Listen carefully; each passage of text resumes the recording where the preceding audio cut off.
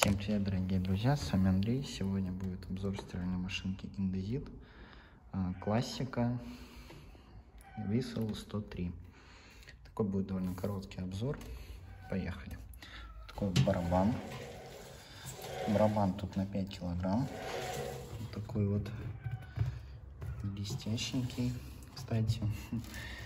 Манжеты вот в таком ужасном, в ужасном состоянии. Вот. Барабан тут на 5 килограмм, классический индозитовский. Еще с такими дырочками сзади. Вот. Люк вот такой вот. Сейчас нахожусь в прачечной на базе отдыха. Вот. Поэтому тут такая вот машинка. Она уже не рабочая, поэтому буду снимать обзор, так сказать, из-под тяжка. Вот лоток. Лоток тут не открывается, поэтому буду показывать наглядно, где что есть. Вот здесь отделение для предварительной стирки, вот здесь для основной стирки и для кондиционера. Тут индикация стирки и сколько можно поставить времени. Время отложенное тут до 9 часов. 6 часов, 4 часа, 2 часа. Предварительная стирка, стирка, полоскание и отжим. Вот это регулятор отжима. 1900, 800 и так далее. Регулятор температуры 30, 40, 50, 60 и до 90 градусов. И программатор. 13 программ стирки плюс 3 дополнительных полоскания, отжим и слив.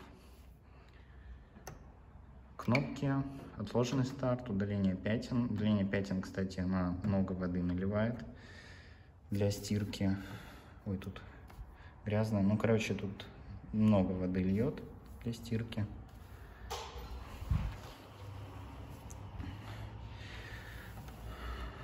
Легкая глажка.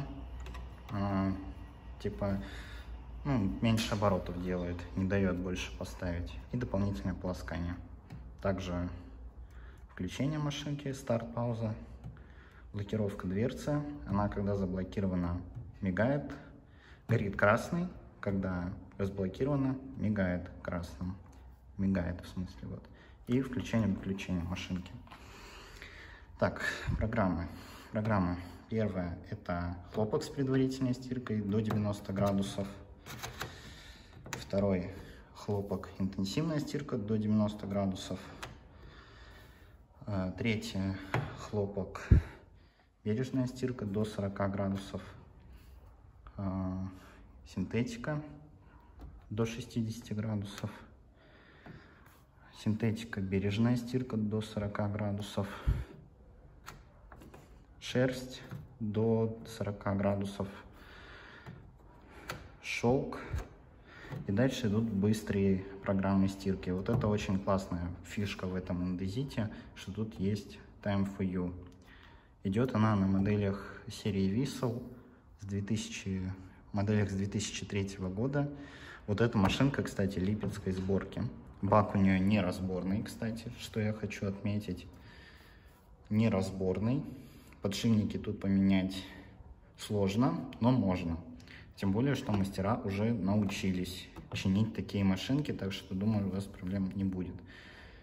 Но есть машинки Whistle 105, там 86 у меня была Whistle 105 и Whistle 86. У них у меня первая была с пластмассовым баком, потом уже была с нержавейкой.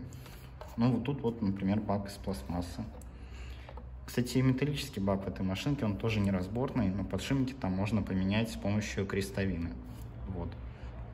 Дальше, восьмая программа, это Time for You быстрая стирка 1 час до 60 градусов. Это очень классная программа, я ее люблю на всех индезитах. Ну, ну только, ну, таких вот висел, которые 103, 105. А, на 102 их нету, кстати. И на прочих там тоже. Быстрая стирка цветных тканей до 50-50 минут. Дальше 10, 10 для синтетики 40 минут 40 градусов. Быстрая 30 минут. Э, спортивная обувь, тоже очень классная программа, она крутит барабан э, на скорости 100-150 оборотов в минуту, вымывает всю грязь, кроссовки прилипают к стенке барабана. Ну и 13 спортивная одежда тоже. Она просто... Вот эти все программы, два, они с предварительной стиркой, поэтому засыпать порошок надо и на предварительную, и на основную. Ну, дальше полоскание, отжим и слив. Вот.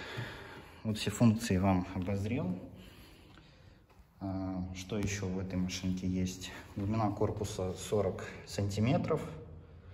Да, тут, ну, 42 где-то, 40-42 сантиметра.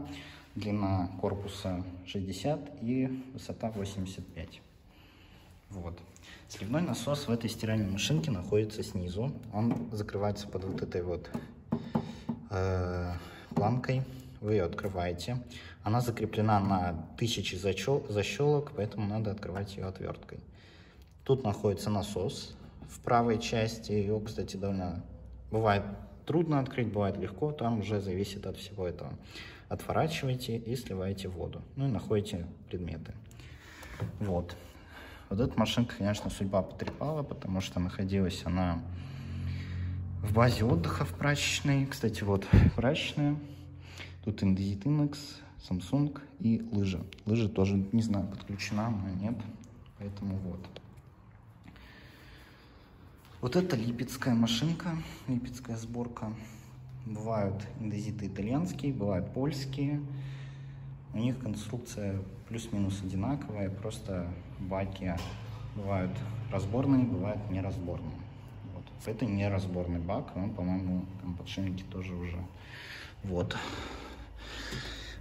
Вот. Стоит ли брать такую машинку? Я думаю, что да. Потому что это индезит, проверенная модель временами, но не липецкая сборка. Все-таки, вот, которая на русском языке. Вот, кстати, как отличить липецкую от не липецкой? Липецкая везде там русский язык на панели, это может там удобно, ну, конечно, вот.